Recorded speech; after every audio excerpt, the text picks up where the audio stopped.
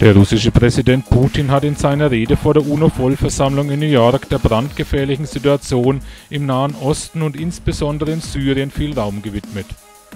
Russland TV präsentiert diese Passagen seiner Rede hiermit in deutscher Übersetzung.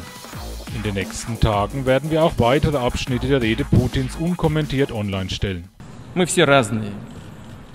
Wir sind verschieden und sollten das respektieren. Niemand muss sich auf ein einzelnes Entwicklungsmodell anpassen, das einer für alle als das einzig Richtige entwickelt hat. Wir sollten uns alle erinnern, was uns unsere Vergangenheit gelehrt hat. Wir erinnern uns auch an bestimmte Abschnitte der Geschichte der Sowjetunion. Soziale Experimente als Expert, die darauf warten, Veränderungen in anderen Ländern unter ideologischen Vorzeichen anzustoßen. Sie haben oft tragische Konsequenzen und führen mehr zum Rückschritt als zum Fortschritt. Es scheint dennoch, dass jeder, anstatt von den Fehlern der anderen zu lernen, diese wiederholt. Und so setzt sich der Export von Revolutionen, dieses Mal von sogenannten demokratischen, fort. Es reicht, einen Blick in den Mittleren Osten und nach Nordafrika zu werfen. Sicherlich türmen sich die politischen und sozialen Probleme in dieser Region schon eine Zeit lang auf.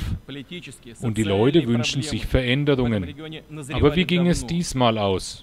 Anstatt Reformen anzustoßen, verursachte eine aggressive ausländische Einmischung eine eklatante Zerstörung nationaler Institutionen und des Lebensstils selbst. Anstelle eines Triumphs der Demokratie und des Fortschritts erhielten wir Gewalt, Armut und eine soziale Katastrophe.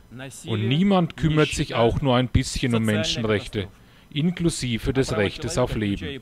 Ich komme nicht umhin, diejenigen, die diese Situation verursacht haben, zu fragen, realisieren Sie, was Sie getan haben? Aber ich habe Angst, dass keiner diese Frage beantworten wird. In der Tat, Richtlinien, die nur auf Eigeninteresse und dem Glauben an die eigene Überlegenheit und Straflosigkeit beruhen, werden sich nie durchsetzen. Es ist nun offensichtlich, dass das Machtvakuum, das in einigen Staaten des Mittleren Ostens und Nordafrika geschaffen wurde, Zonen der Anarchie entstehen ließen. Diese füllten sich sehr schnell mit Extremisten und Terroristen. Zehntausende Militante kämpfen unter der Flagge des sogenannten Islamischen Staates. In ihren Reihen befinden sich Soldaten der früheren irakischen Armee, die nach der Invasion des Irak 2003 auf die Straße geworfen wurden.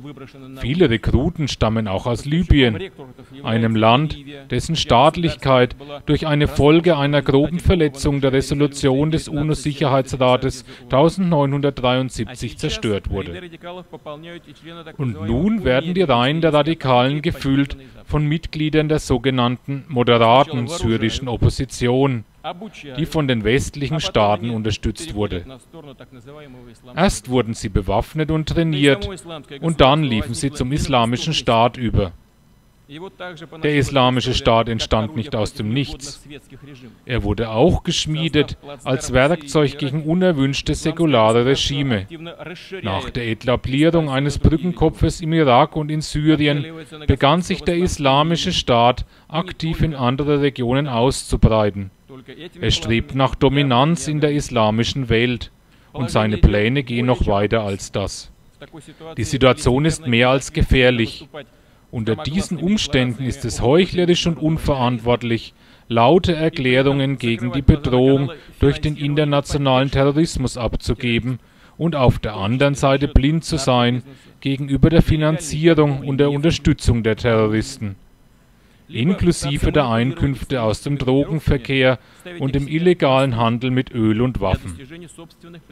Es wäre ebenso unverantwortlich, terroristische Gruppen beeinflussen zu wollen und sie zu nutzen, um die eigenen politischen Ziele zu erreichen, in der Hoffnung, mit ihnen zurechtzukommen oder, um es anders auszudrücken, sie später zu liquidieren.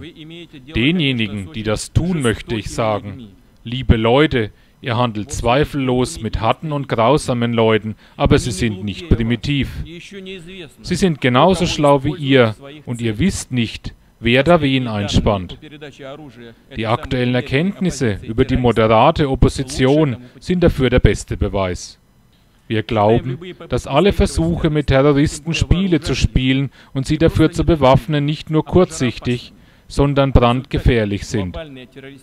Sie können zu einer globalen terroristischen Bedrohung führen, die auf dramatische Weise neue Regionen erfasst. In den Trainingscamps des Islamischen Staates werden Militante aus vielen Ländern, auch aus Europa, trainiert. Russland ist dabei leider keine Ausnahme. Wir können diesen Kriminellen, die bereits Blut geleckt haben, nicht erlauben, nach Hause zu kommen und ihre bösen Werke fortzusetzen. Niemand will das. Russland hat immer standhaft und konsequent den Terrorismus in all seinen Formen bekämpft. Heute stellen wir militärische und technische Hilfe für den Irak und Syrien zur Verfügung, die gegen terroristische Gruppen kämpfen. Wir denken, dass es ein riesiger Fehler ist, die Zusammenarbeit mit der syrischen Regierung und ihren Streitkräften abzulehnen, wo sie gerade tapfer Angesicht in Angesicht gegen den Terrorismus kämpfen. Wir sollten am Ende anerkennen, dass niemand außer Präsident Assad bewaffneter Kräfte und der kurdischen Milizen wirklich den Islamischen Staat und andere terroristische Organisationen in Syrien bekämpft. Но нужно все-таки исходить из реалий.